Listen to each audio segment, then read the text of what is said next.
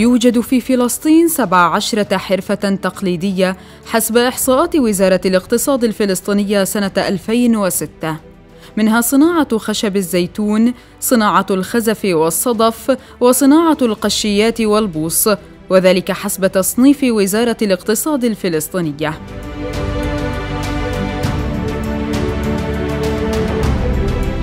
في فلسطين تعبر هذه الصناعات عن تاريخ وثقافة الشعب الفلسطيني حيث أنها تجسد وجوده على أرضه عبر حضارات متواصلة وتشكل مصدرا حقيقيا لتنمية الدخل الوطني إذا ما تم استغلالها وتطويرها بالشكل المطلوب.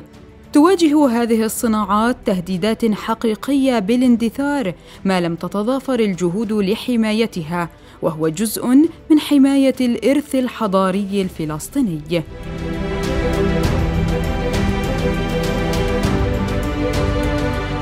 الطين هو أحد أكثر المواد الخام المستخدمة في صناعة الفخار والخزف والسيراميك والبورسلان ولكن طريقة تصنيع هذه المنتجات تختلف فيما بينها. الخزف التقليدي يتكون من ثلاثة مكونات أساسية الطين والسيليكا الكواردز والفلسبار. استخدامات الخزف عديدة حيث تدخل صناعة الخزف في تصنيع المزهريات الجميلة وأطباق الطعام والتماثيل وغيرها من العناصر الزخرفية.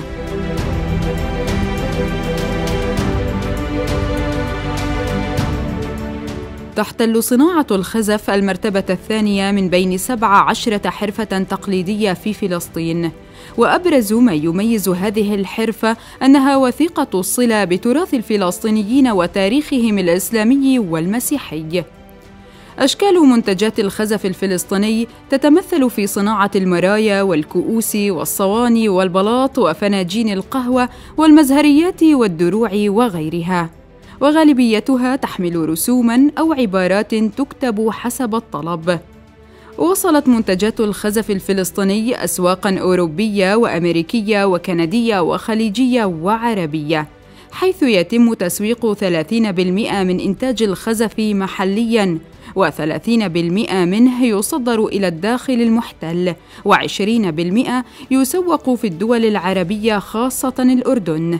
أما الباقي وهو ما يشكل 20% فيصدر إلى أوروبا وأمريكا.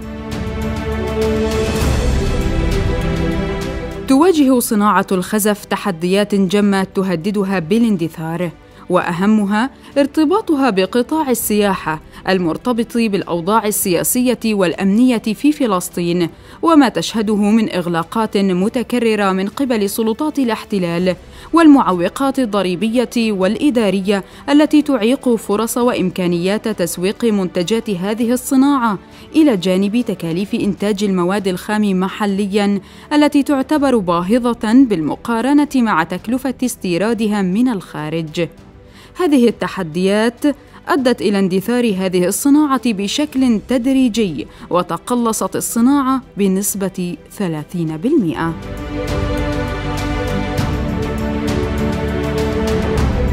صناعة الزجاج اليدوي في فلسطين متواجدة منذ القدم وذلك عبر الحضارات القديمة التي قامت على أراضيها وتطورت على مر التاريخ. تستخدم تقنيات يدوية في صناعة الزجاج اليدوي والمواد الخام المستخدمة في هذه الصناعة حاليا يتم الحصول عليها من مخلفات الزجاج وزجاجات المياه الغازية الفارغة أو من تجار الزجاج.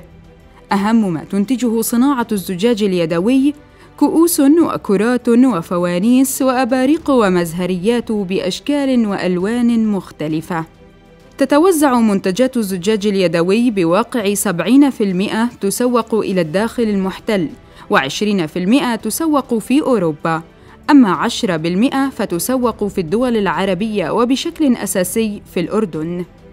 تواجه صناعة الزجاج اليدوي اليوم خطر الاندثار بسبب أن هذه الصناعة يغلب عليها النمط العائلي وعزوف الأبناء عن الاستمرار في هذه المهنة لما فيها من مشقة العمل أمام الأفران وحاجتها إلى مهارات عالية وإلى الروح الإبداعية والفنية في تشكيل الزجاج.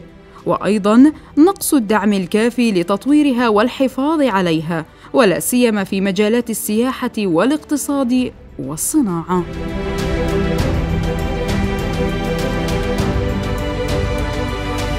تعتبر صناعة الفخار الأولى والأكثر قدما في فلسطين ويتم إنتاج العديد من المنتجات الفخارية مثل القوارير وأخرى للطبخ مثل الفخارة وهناك بعض الاواني المشهورة لحفظ الماء البارد في داخلها صيفا كالزير. وعشرات الأشكال الأخرى المستخدمة للزينة وحفظ الورود وعرضها. تشهد صناعة الفخار الفلسطيني تراجعا ملحوظا وتكاد تندثر تدريجيا بسبب تدني مستوى السياحة ووعي المجتمع بأهمية هذه الصناعة ومنتجاتها. وعدم التمكن من تسويق الأواني الفخارية داخليا وخارجيا إضافة إلى تطور الأدوات المنزلية وتحولها من المواد الفخارية إلى المواد المصنوعة من اللدائن والزجاج وغير ذلك. إن عملية تصدير هذا النوع من البضائع مكلفة وصعبة والإقبال قليل بسبب غزو الأسواق الفلسطينية والعربية من المنتوجات الفخارية المستوردة والبديلة. والطريقة الأولية التي لا يزال الفخار يصنع من خلالها. الأمر الذي يزيد من كلفته وتسويق إنتاجه.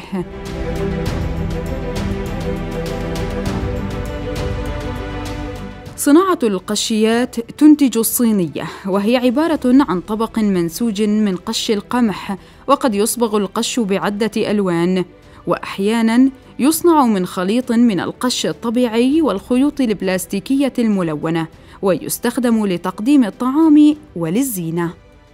الجونة وهي وعاء عميق منسوج من قش القمح في أطواف دائرية مترابطة تتسع بالاتجاه إلى الأعلى. وكانت تستعمل لأغراض عديدة كحفظ الخبز ولوضع الثمار بها كثمار البندورة والخضروات. وكان البعض يستعملونها سريرا للمولود الجديد. وكذلك للسلال وصواني القش البيتية والتجارية الكبيرة والصغيرة والتحف والهدايا الفنية. الأيدي العاملة الرئيسية في هذه الصناعة هن النساء اللواتي يحترفن هذه المهنة وتشكل صناعة القش دخلا وفيرا للنسوة ويساعد ذلك في تعزيز الاقتصاد المنزلي والتخفيف من حدة الفقر. وهناك طلب متزايد عليها خاصة من قبل محلات التحف والهدايا وكذلك من قبل بعض المزارعين ميسوري الحال. تواجه صناعة القش صعوبات جمة. لا ترتبط فقط بالآثار الجسدية الناجمة عن الجلوس المتواصل والتركيز ودقة العمل بل على المستوى الاقتصادي من ناحية ارتفاع أسعار المواد الخام وقلة توافرها. فالصبغات الموجودة على سبيل المثال مرتفعة السعر ولا تفي بالغرض المطلوب. إضافة إلى قلة توافر أنواع القش وثمنها المرتفع، وذلك بسبب تراجع زراعة المحاصيل المستخرجة في تصنيعها.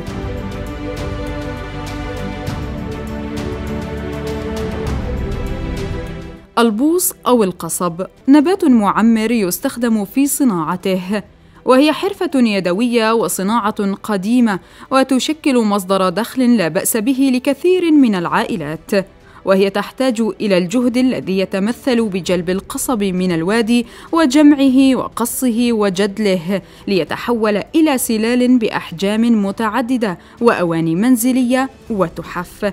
وحديثا تطورت الحرفة لتدخل في صناعة مظلات وجدران الحدائق وعرائش المنازل.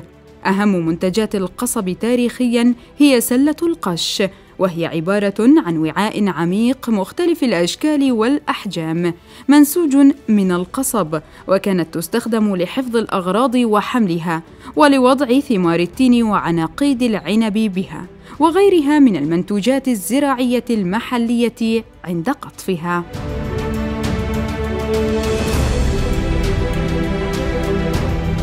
تستخدم في هذه الصناعة أخشاب شجر الزيتون المباركة والمتوفرة بكثرة في فلسطين. تعتبر هذه الصناعة من أقدم الصناعات التقليدية في فلسطين، ووصلت إليها مع فناني الحملات الصليبية تواجه صناعة خشب الزيتون العديد من التحديات التي تهدد وجودها وتتلخص في استغلال بعض المكاتب السياحية وفرضها لعمولة مقابل مرور أي فوج سياحي من المعرض كذلك دخول البضائع المستوردة الشبيهة المصنوعة من مواد أخرى بأسعار رخيصة مقارنة بخشب الزيتون بالإضافة إلى التكاليف التي تفرضها الجهات الرسمية عليها منها التراخيص والرسوم والضرائب والأوضاع السياسية المحيطة. ومعيقات الاحتلال التي تتمثل بالتحكم بعدد السياح وحركتهم وقدرتهم على الدخول إلى فلسطين ناهيك عن الحواجز العسكرية. نظرا لتراجع قطاع الصناعات التراثية يبرز دور الجهات الحكومية وغير الحكومية والقطاع الخاص والأهلي في دعم المشاريع الصغيرة والمتوسطة والكبيرة في مجال الصناعات.